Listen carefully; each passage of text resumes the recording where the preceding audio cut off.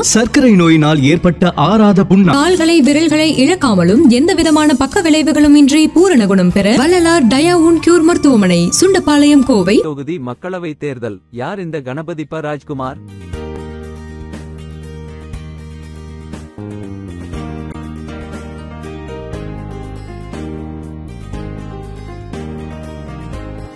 கோவை மக்களவை தொகுதியின் வேட்பாளராக திமுக கூட்டணி சார்பில் களமிறங்கும் கணபதி ப. ராஜ்குமார் கடந்த ஆயிரத்து தொள்ளாயிரத்து அறுபத்தைந்தாம் ஆண்டு ஏப்ரல் மாதம் பதினேழாம் தேதி பழனிச்சாமி மற்றும் புவனேஸ்வரி தம்பதிக்கு பிறந்தவர் ஆவார்.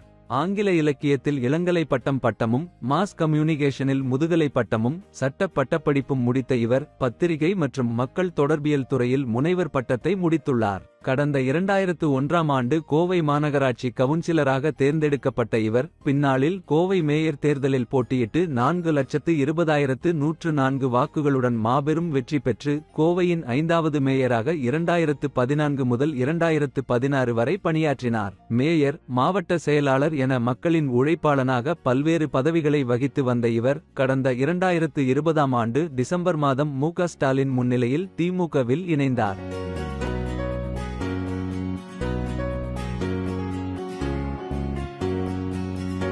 இதனிடையே இரண்டாயிரத்து இருபத்தொன்றாம் ஆண்டு சட்டமன்ற தேர்தலில் திமுக கூட்டணி வெற்றி பெற்று ஆட்சிக்கு வந்தபோது கோவை மாநகர் மாவட்ட அவை தலைவராக நியமிக்கப்பட்டார். கோவை பற்றிய அவரது தொலைநோக்கு பார்வை வளர்ந்த மற்றும் வளமான எதிர்கால நகரத்தை உருவாக்குவதில் அவர் காட்டிய முனைப்பு மூத்த வணிகத் தலைவர்களிடையே அவருக்கென்று ஒரு தனி மரியாதையை பெற்றுக் கொடுத்தது. இதனிடையே இரண்டாயிரத்து இருபத்து நான்காம் ஆண்டுக்கான நாடாளுமன்ற தேர்தல் அறிவிக்கப்பட்ட நிலையில் கோவை மக்களவை தொகுதியில் திமுக கூட்டணி சார்பில் சிபிஎம் மற்றும் மக்கள் நீதி மையம் கட்சிகள் போட்டியிட முயன்றன.